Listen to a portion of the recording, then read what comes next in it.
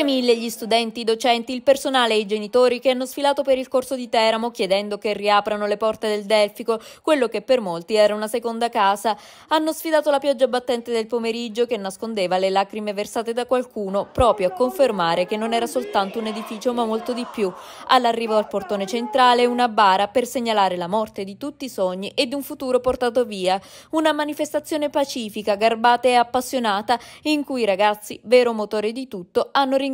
i docenti, le presidi e le istituzioni presenti anche alla manifestazione che si stanno prodigando per il loro ritorno nell'edificio scolastico lasciato lo scorso 3 ottobre. La loro protesta continuerà fino alla riapertura del Delfico. Eh, questa situazione ci ha sconvolti, ci ha sconvolti particolarmente, eh, siamo senza la nostra seconda casa, non abbiamo più un luogo in cui studiare, non abbiamo un luogo in cui vivere, dato che ci passavamo praticamente la maggior parte delle nostre giornate come tutti i bambini, come tutti i ragazzi, eh, non è normale che si sia verificata questa situazione e richiediamo che soprattutto venga risolta nel minor tempo possibile perché non possiamo stare stazionati e eh, aspettare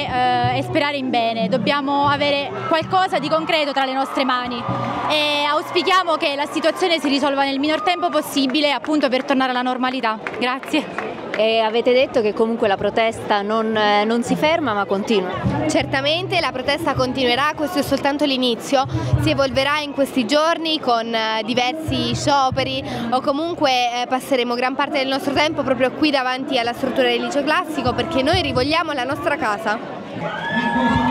Ragazzi che sono stati tolti a una seconda casa, bambini come le sue figlie che appunto si ritrovano in un'altra scuola da un momento all'altro. Non,